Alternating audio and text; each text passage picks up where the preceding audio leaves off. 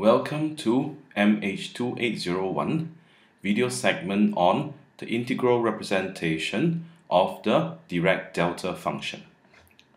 Consider the consider the Fourier transform of the Dirac delta function which is defined by 1 over square root 2 pi and integral from minus infinity to plus infinity the Dirac delta function localized at t naught multiplied by the exponent complex exponential ei omega t and then integrated over dt.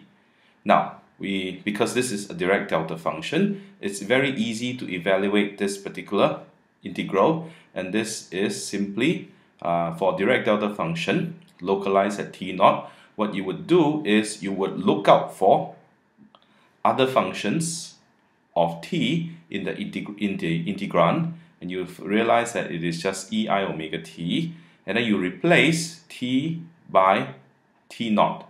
And that is how you would integrate uh, in the presence of a Dirac delta function.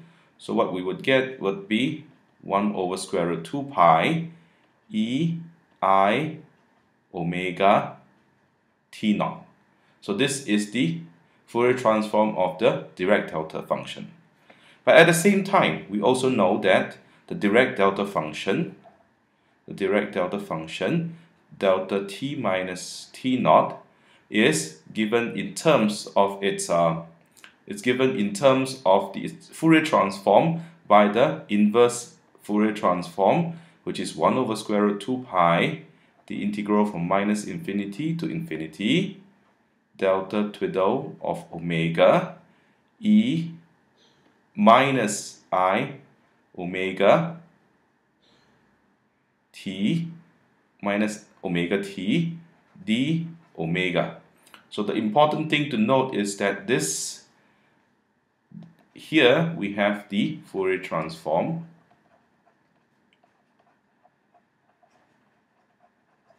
where we use the normalization constant, uh, we use normalization convention of 1 over square root 2 pi as well as the plus sign, the plus uh, con sign convention for the complex exponential. And this particular integral down here, although it looks like a Fourier transform, it is actually the inverse Fourier transform.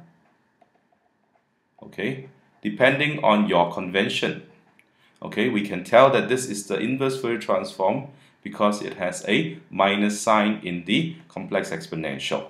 So if the Fourier transform has a plus sign in the complex exponential, then you need to change the sign to minus in the inverse Fourier transform. Alternatively, if the sign of the Fourier transform is e minus i omega t, then this will be e i omega t. But of course, we should only use one convention in any given problem. So here we have we, we're going to stick to this particular convention of plus i omega t for the Fourier transform and minus i omega t for the inverse Fourier transform. Now what do we do next?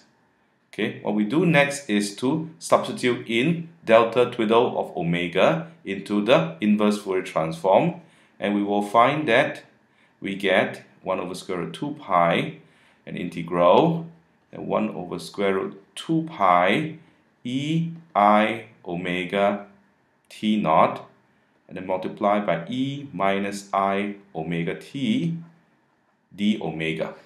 Okay, so we can bring the 1 over square root 2 pi outside, multiply it with the 1 over 2 square root 2 pi that is already outside to get 1 over 2 pi.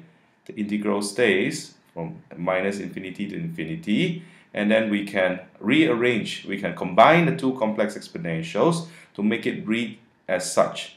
i minus i omega t minus t naught d omega.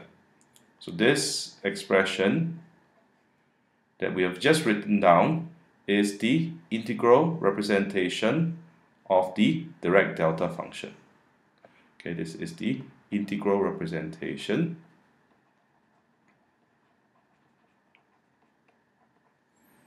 of the Dirac delta function. Now I've told you that um, the this plus and minus is a question is a, merely a question of convention. So you could also have a plus here. So and whether you use the plus or the minus, uh, the the final the final result should be the same, and that is uh, whether you are using the plus convention or the minus convention, you still end up with uh, the integral uh, 1 over 2 pi times the integral from minus infinity to infinity of a exponential ei omega t minus t naught d omega. This is also a valid integral uh, formula for the Dirac delta function.